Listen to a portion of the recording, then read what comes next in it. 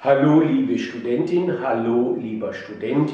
Wir üben in Kapitel 9 weiter die Bildung des Perfekts. Wieder eine Übung mit den starken Verben. Ich werde Olga wieder fragen, und zwar im Präsens.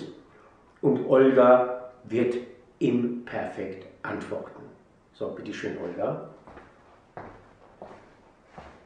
Hallo, Hallo, Olga. Frage Nummer 1. Nimmst du am Deutschkurs A1 teil? ich habe schon am Deutschkurs 1, 2 teilgenommen. Ich habe schon am Deutschkurs A1 teilgenommen, ja? Ich habe schon am Deutschkurs A1 teilgenommen und zwar erfolgreich, nehme ich an, ja?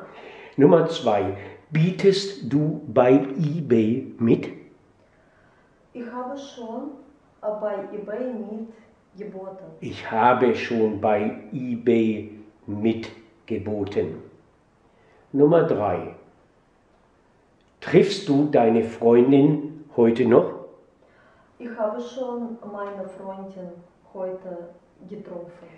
Ich habe meine Freundin schon getroffen oder ich habe meine Freundin heute schon getroffen. Ja? Ich habe meine Freundin heute schon getroffen.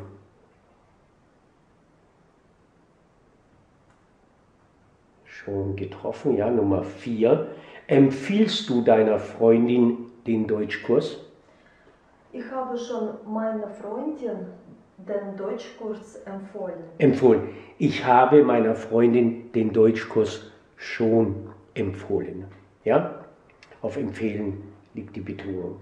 Ich habe meiner Freundin den Deutschkurs schon empfohlen. Nummer 5. Bittest du deinen Freund um Rat?